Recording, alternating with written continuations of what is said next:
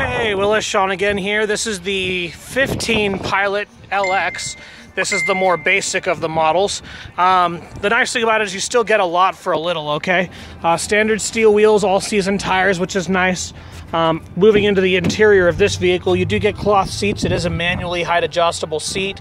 Um, does also have the uh, nice large center console, similar to what you had in the um, Ridgeline. The only difference is at this point, this actually covers up this way instead of the other direction, which is nice. Um, shifters here, dual zone climate, again, with this as standard. This does not have a six disc changer, but it does have a CD library in it, so you can actually store CDs to the hard drive inside of it.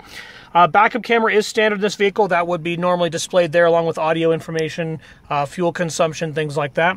This again does have those 3D style gauges that Honda loves. Um, I really enjoy them. I actually get migraines from looking at gauges at night, so this actually makes it really, really nice to look at. No moonroof. Yay, no more pine cones breaking glass. That's a good thing. Uh, large center console. Um, does have dual um, dual outlets so you can charge there as well as also in the interior here with USB as well as an auxiliary port. So it is completely customizable as far as plugging things into it.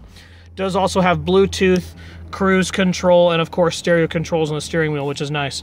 Now moving into the back, the Pilot does have a third row seat. I don't know if you need that, but it's back here for you. This is currently folded down. I'll show you how to pull it up in just a moment. Um, otherwise, you can access that with this handle right here. So if I pull this up, this slides and then the whole thing comes forward to allow access to that third row that's right there kind of hidden right now. Otherwise, these seats will fold forward to match that and create a flat surface in the rear. Now moving back here, you do get a standard tow hitch with the Pilot, which is nice. Also standard backup camera, one of the nice features of this vehicle. It also is one of the few vehicles that still has the ability to do this, which is separate the rear glass from the rear hatch, which is nice.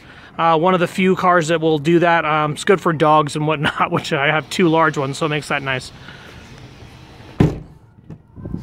Popping this open, as I mentioned, it's really easy to get these seats back up. Grab the handle, grab, give it a quick pull, and there is your third row seat ready to go. So uh, it is an eight passenger vehicle. You get three in the rear, three in the center, and then of course two up front. So the nice thing is you can see the visibility out of this vehicle is fantastic. Nice large openings. There's some basic storage back here as well.